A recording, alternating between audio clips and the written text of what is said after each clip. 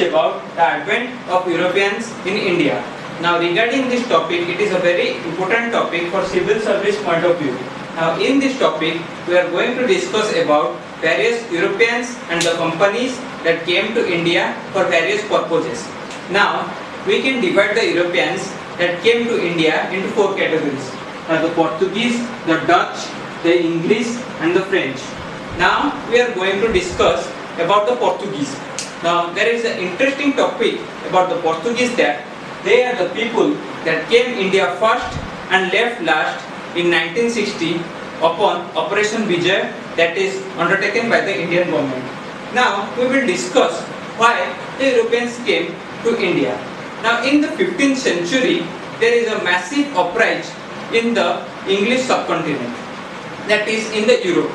There was green revolution which increased the food production. There was increase in the meat production and the lifestyle of the people also increased. This increased increasement happened due to good quality of plough and good quality of seeds that were produced in the green revolution. Now the increased demand of the meat and the production of the meat carried on the call for more spices and luxury items as the lifestyle of the people increased that is it became better so the people demanded for more luxury items. Now the luxury items and the spices were mainly produced in the Indian subcontinent. Now the market of Indian subcontinent were mainly controlled by first were the Arabs, Chinese, African, Egyptian,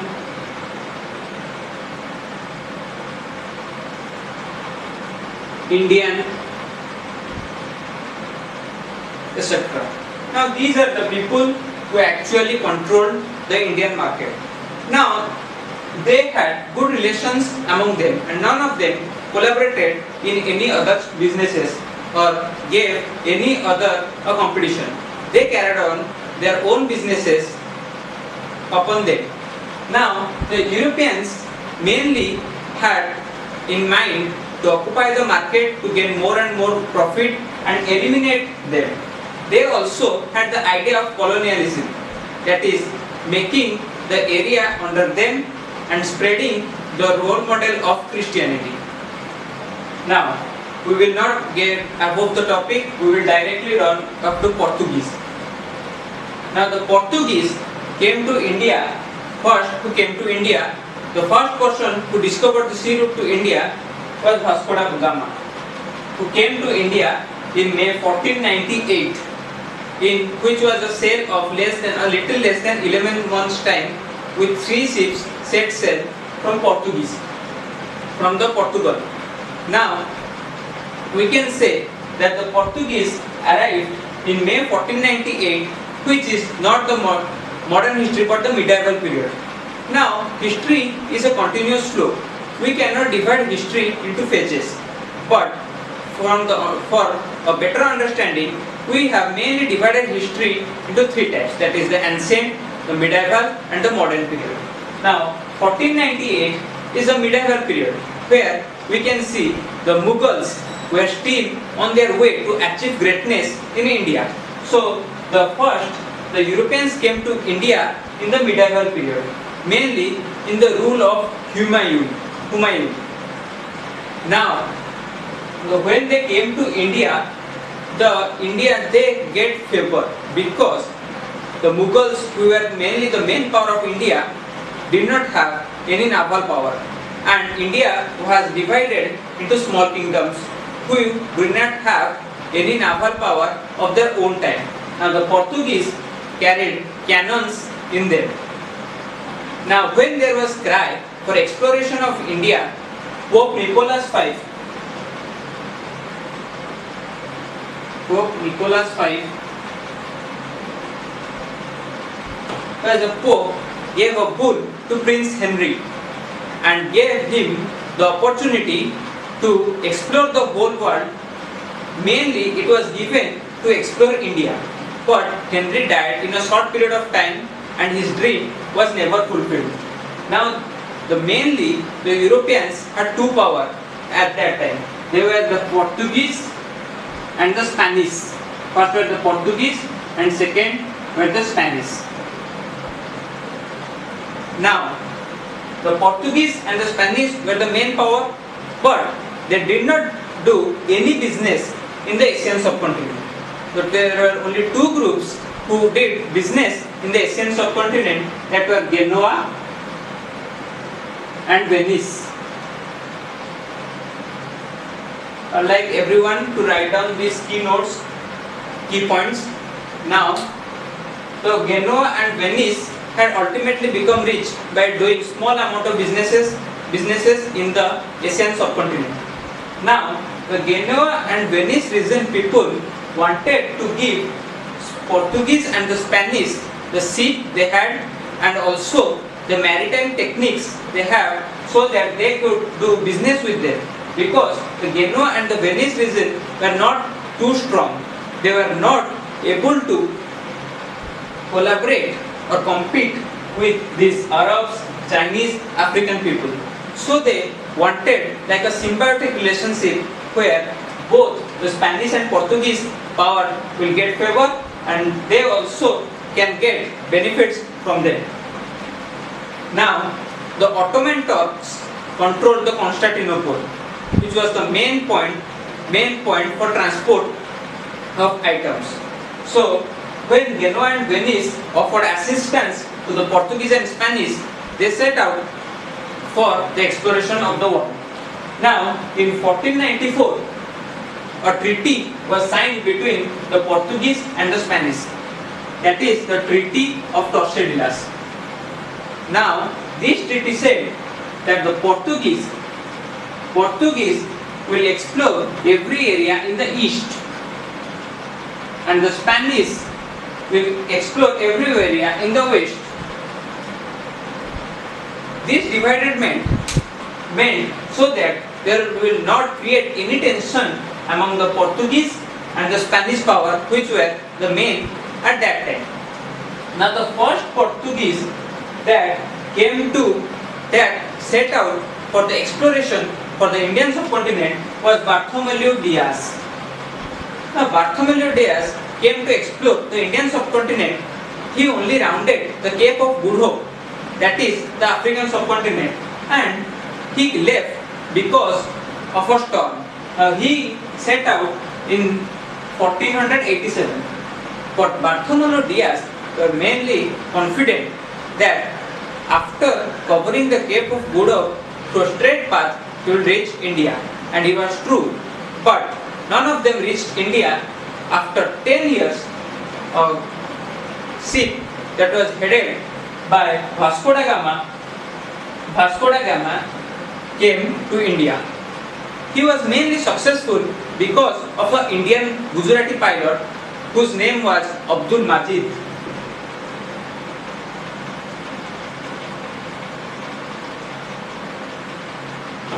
Now Abdul Majid is the original inhabitant of India. He was a Gujarati pilot. Now Vasco da Gama came to India in the Cape by crossing Cape of Good Hope and through Kolkata port. Kolkata port.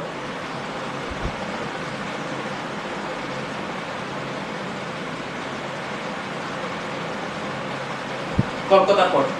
Now he was mainly welcomed by the ruler of Kolkata because the port, the ruler was rich due to the port actions in the Kolkata.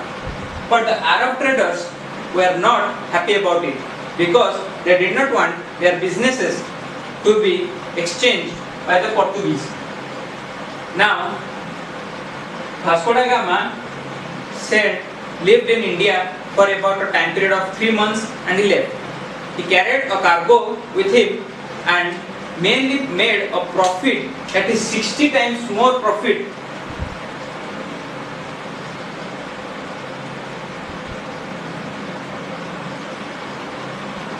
Sixty times more profit than any other merchant. Now, this opened the gates of the European powers to come to India. they saw that how rich they could get by exploring the Indian subcontinent. Vasco da Gama gave them an example. Now, after a year, Pedro Alvarez Alvarez Cabral Pedro Alvarez Cabral Cabral wanted to come to India and he reached India in the year 1500. Now he had done some interactions with the local people and set up a factory at Kolkata.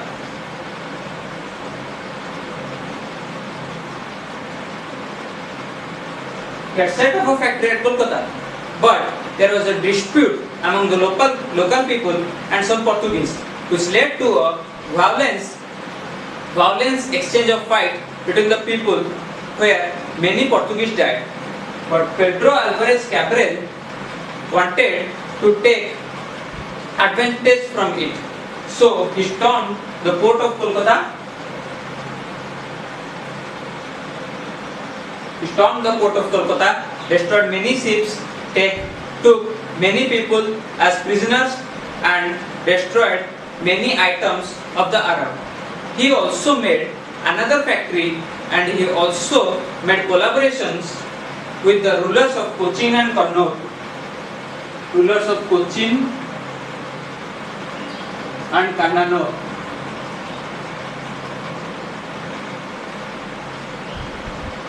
But after Pedro Alvarez Cabral made profit and left India, and a year later, in 1501, Vasco da Gama again came to India with higher power. After Pedro Alvarez Cabral left India in the 1500 with a ferocious hostility that he caused at Calicut.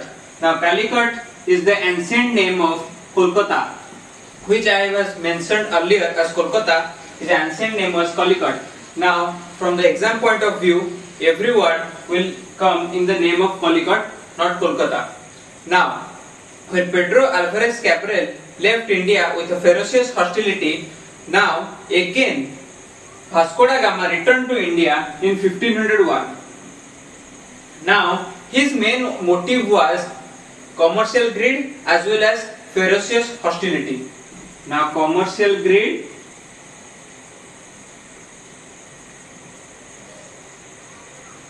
and ferocious hostility.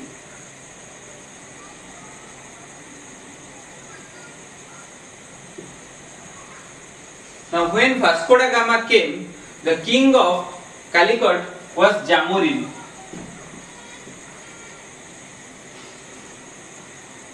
Now Jamorin was the king of Calicut.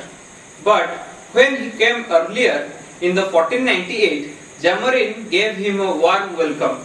But in 1501, Jamorin declined his offer of excluding the Arabs, the Arabs from the trade. When Jamorin excluded, did not want to exclude the Arab from the trades, the relation between Vasco da Gama and Jamorin declined. So Vasco da Gama ruptured every ship of the Jamorin as well as the Arabs. Arabs. So the relation between Jamorin and the Arabs declined from time to time. Now it ruptured fully after Vasco da Gama's second visit in the year 1501. Now, Now here comes to the second part of the Portuguese status in India. In 1505, in 1505, the King of Portugal began to appoint governors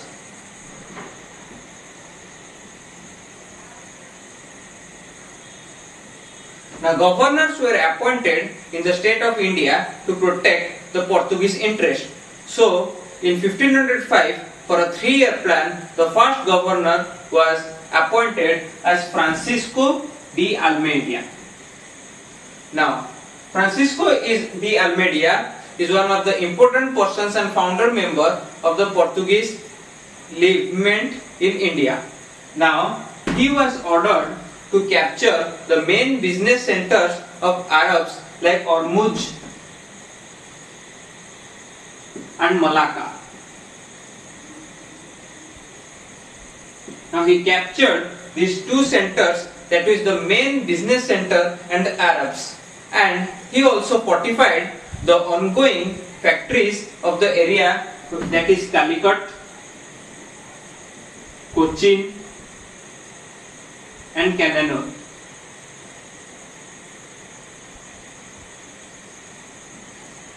Vasco da Gama had undergone interactions with the king of Cochin and Cananore and helped him, which helped him to fortify his factories, to establish his factories in Cochin and Cananore.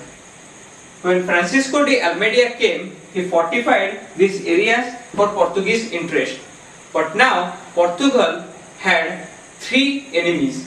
Now they were first, that is Jamorin of Calicut, a Mameluke,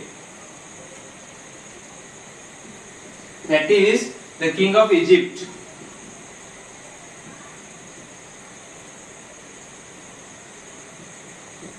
and some original inhabitants of Gujarat.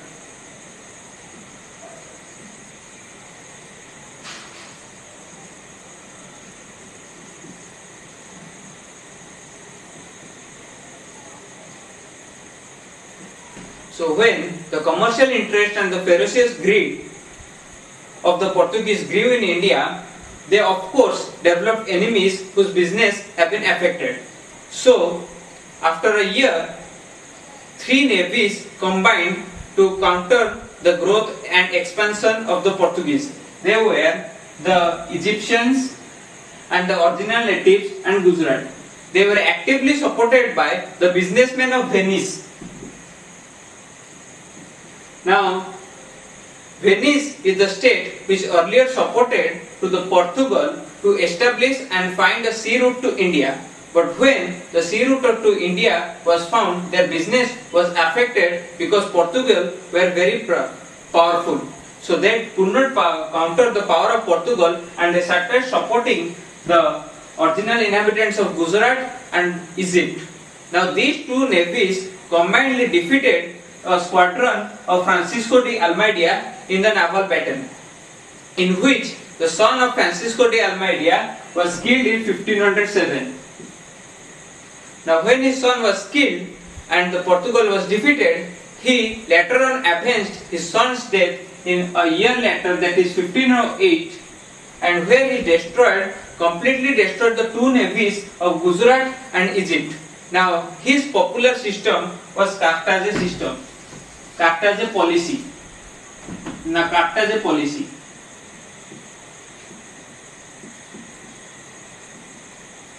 Now Cartaz policy is translated as blue water policy.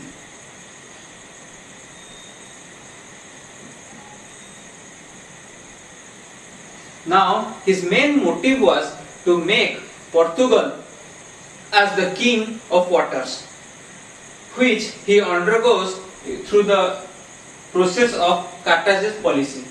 Now we come to the second governor. He is the most important governor from the Portuguese point of view in the Indian subcontinent who is Alfonso de Albuquerque. Now Alfonso de Albuquerque came to India as a governor. Now he is known as the founder member of governor because of his events and the actions undertaken by him. First, he built naval ports in Diu, Red Sea and Gulf. Now, when he built naval forts in these areas, these were originally controlled by the Arabs and Egyptians. Egyptians.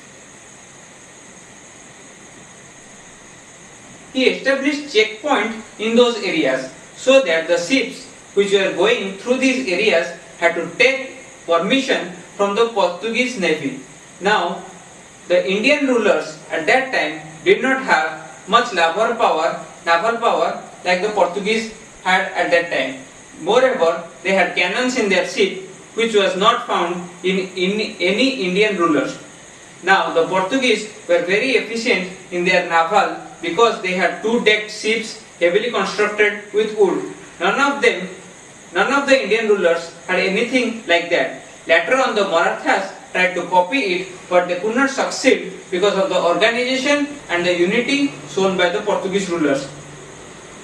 Now, Alfonso de Albuquerque started making negotiations with the ships that came and often collected taxes from them for sowing, for taking them roads. Now, he was one of the first rulers, first governors to encourage the original inhabitants of Portugal to take Indian wives. Now, when they took Indian wives, they saw India as home unlike Portugal.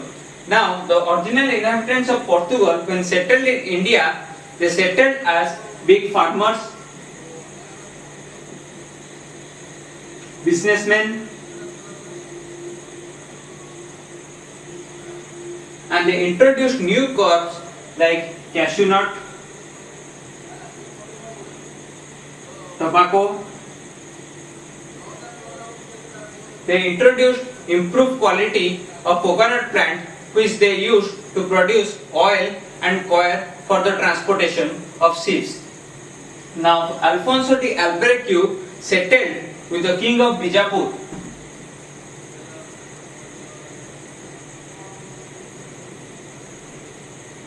Now it is the very important event in the history where Alfonso de Albuquerque got the city of Goa from the king of Bijapur without any battle.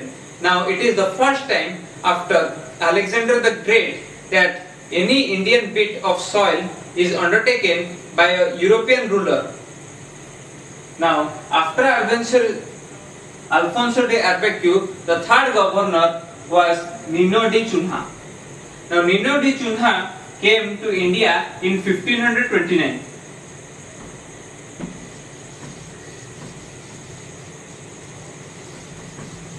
Now when he came to India in 1529, he supported the ruler of Gujarat, that is Bahadur Shah. Now Bahadur Shah has originally had conflict with Humayun, which is the Huma, which is the Mughal ruler, that is the king of Akbar. Now Bahadur Shah having conflict with Humayun, he started getting support from the Portuguese and promised them to give a base at Diu. Now the Portuguese wanted a base at Diu because it is a very important port for the transportation of goods and also it can check the movement of ships of Arabs and the Egyptians. But when Humayun discarded from Gujarat, that is he left from Gujarat without attacking Bahadur Shah, the negotiations between Bahadur Shah and the Portuguese began to decline.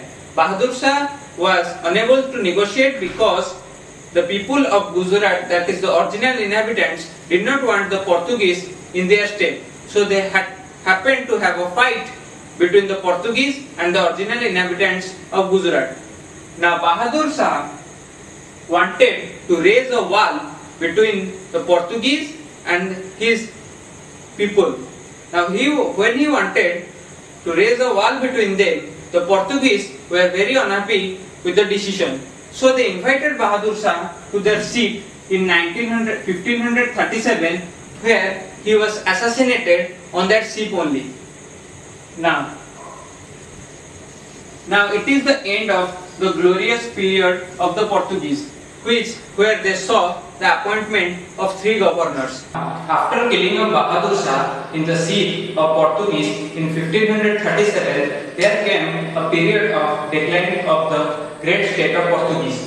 Now, there were many reasons for the decline of Portuguese, but we Indians often tend to disregard the state of Portuguese. But in fact, the Estado Portuguese da India, which is the Portuguese state of India, was a bigger element in fact, it had many ports under it. Now the major ports of India were under the Portuguese like Hooghly,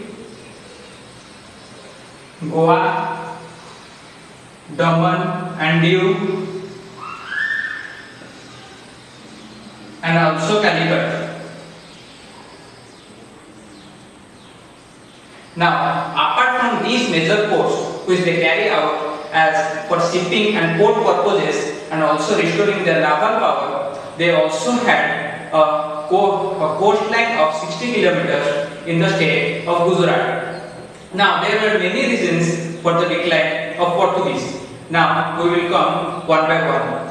Now the Portuguese often appointed a governor in India for the period of three years. It also had a secretary under it. Now there was a body named as Fezer de Fazenda. Now the Fezer de Fazenda has the work of collecting the revenues and also from the local people and also from the ships and collecting passes from the neighboring ships that pass on this route. Now the Portuguese, the religious policy. Now the Portuguese, the Moors, that is the Moors, the Moors are the original inhabitants of Eastern Africa. They are, they are mainly a Muslim community. The Moors were the bitter enemies of Portuguese as well as the Arabs. Now, when the Portuguese came to India, at first they started executing the Muslims. Now, they had many reasons for executing the Muslims because the Muslims were the bitter enemies and they were also, the Muslims were also the merchants which gave power to other kings rather than the Portuguese to fight. Now, when they started executing the Muslims, they lose the favor of the Mughals. Now, at first, the Mughals were tolerant against them. Portuguese, in fact, were tolerant to the Hindus in the first. But after a short period of time, they also started executing them. Now, they, the Portuguese were notorious in their behavior. They were also like pirates. They captured other ships. Now in 1529, however the Portuguese were bitter enemies of Mughals, but in 1579, a letter was forwarded by the Akbar to send to learned so that he would learn about Christianity. Now, however the Portuguese, that is the Christians were intolerant to the Muslims, but Akbar had interest in God. So when he asked for sending two of his learned priests to take, give him knowledge about Christianity, they agreed very, very happily because they thought it is a chance to convert the royal family of Mughals and also their officials to Christianity. Now, in 1578, two of the learned priests named as Rodolfo Acquaviva and Antonio Monserrate, they too reached, reached the state of, that is the capital of Akbar. Now, Akbar occurred three times. Akbar asked for the learned priest three times from 1579 to 1500 83. Now again he called them in 1590 to 1592 and at last it was in the court of Lahore because it was in 1595 to a period of one year or so. But they did they cannot convert the royal family of Mughals to Christianity. Now after Akbar, his son Jahangir set aside the throne. Now Prince Salim, who is also known as Jahangir, also had keen interest in Christianity, but they never took, never took upon Christianity. Now the priest of Christians, priest often had the individuality or the power to build their churches in the cities of Akbar or the Mughals. Now they often understood the people and they wanted to convert the young people to Christianity. Now, the Portuguese also had a dirty game of capturing young boys and girls of Hindus and Muslims and taking them as slaves and raising them as Christians. Now, this notoriety not only affected their religion, their relations with the Mughals, but also with the local people.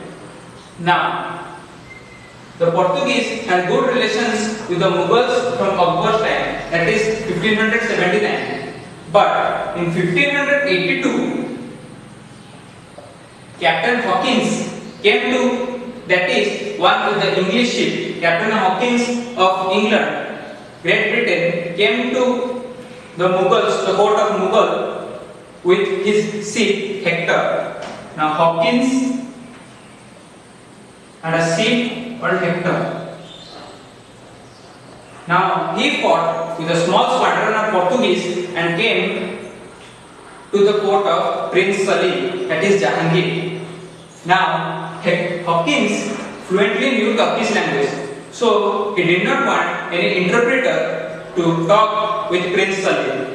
Now Jahangir was thoroughly impressed with him, so he appointed him as a Mansabdar with 400 400 soldiers under him and a price of rupees 30,000. But apparently he never got the reward. When Portuguese retaliated, he had to flee to England. But a year after, the ship that is dragon, a big ship that is dragon with a small ship that is Osiander, came to the court of Jahangir with the command of Captain Best. Captain Best. Now they fought, they had fought the entire fleet of Portugal.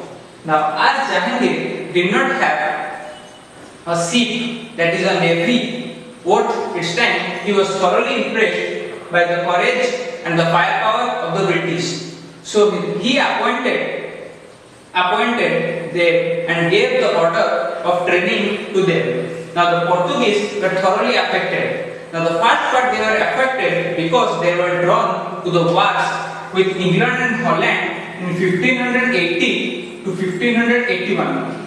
They had to fought, fight war with England and Holland to support Spain.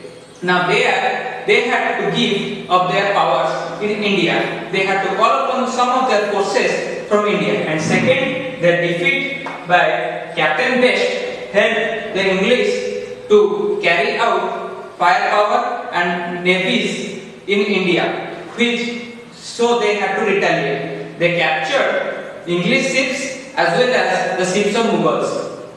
With fed up by the notoriety of the Portuguese, Prince Jahangir, that is the King Jahangir, ordered the prince ordered the prince to capture Hooghly. That was the base point of Portuguese. But it was until Shahjahan, that is Prince Salim's son, son, he ordered cap to capture the Portuguese. Now the Portuguese were captured in 1629. Now the Mughals, Mughals King Jahangir, Shahjahan ordered the governor of Bengal, that is Qasim Khan, and the governor of Bengal was Qasim Khan. Now he was ordered to capture Hooghly from the Portuguese. Now he captured Portugal, the Hooghly in 1629. Now the Portuguese had very less power after the capture. Now the Mughals lost their 1000 men but they captured 400 of Portuguese. Now these Portuguese were asked whether to convert to Muslims or to be executed by the Mughals. Now after the capture of Hooghly, that was the main point, main point for the trading for them and also storing of goods, the, the power of Portuguese decreased. There was a time when Portuguese often get into the local politics, that is the fighting between the Marathas and the Mughals or with, with the small states of the northern India and also with the kings of Cochin, Goa, etc. The kings of Vijayanagara. But now they have very less power to attempt to come to the local politics. So they often get into the notoriety that is capturing other ships or becoming as pirates as well as capturing young children to convert them to Christianity. So they often had to fight wars with the locals. But it was until 1681 it was until 1681 when the Marathas completely captured the main power of Portugal that is the last that is Goa after three subsequent wars. Now this was the end of the main Portuguese power in India. But the, there is a contrasting character of the Portuguese that they came first to India and left last. However, their power was slowly decreased. They often remain in the neighboring states of Portugal, India, that is Goa. They often capture small, small regions. Now the Portuguese left India in 1961 after Operation Vijay by the Indian government. Now, this is the end of the history of Portuguese. Now, we'll next come to the next chapter. Thank you.